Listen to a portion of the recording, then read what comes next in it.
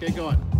My name is MC Hammer, and I'm dealing with my, my AS 1100s that are only legal in Panama.